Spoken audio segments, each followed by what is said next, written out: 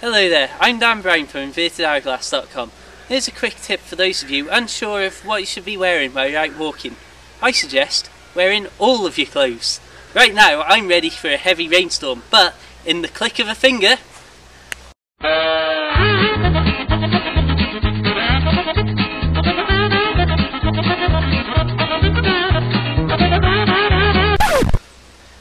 you'll be ready for the hottest weather of the year.